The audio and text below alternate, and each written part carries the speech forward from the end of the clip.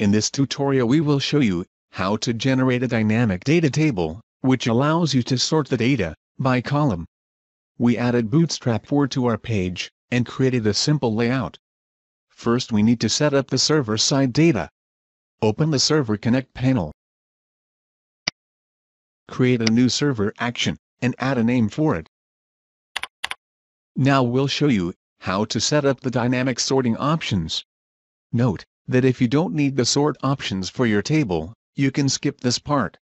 Open Globals in Action Steps panel. Right-click Get, and create two variables. We call them sort and direction. Now, right-click Steps and add a database connection.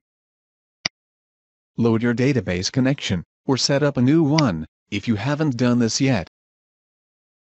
Then add a database query, after the database connection.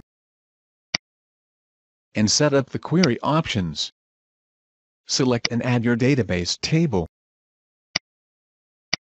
Then, add the table columns, which you need.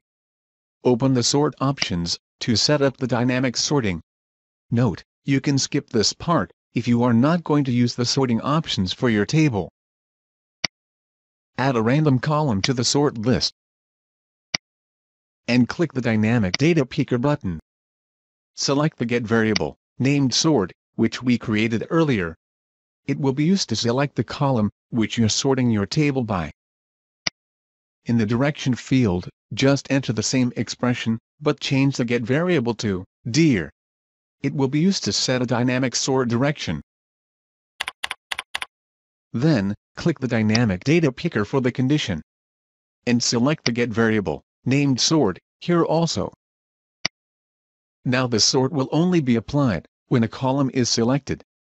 Click OK when you are done. And save your server action. Then, open the App Connect panel. Add new component. And under Data, select Server Connect.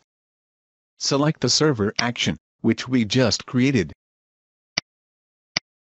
You can see the two get variables, which we created in the server action. We should assign dynamic values to them. Select the app root, and add a new component. Note, this part is only related to dynamic sorting options, so you can skip it, if you don't need sorting options for your table. Open the State Management menu, and select Query Manager. And then define the query parameters. We need two query parameters, for both of the get variables in our server action. So we create two parameters, and assign to them the same names, as the get variables in the server action, sort, and dir.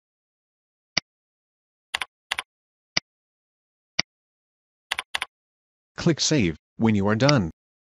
Now, in AppTree select the Server Connect component, and bind dynamic data, to both of the get variables.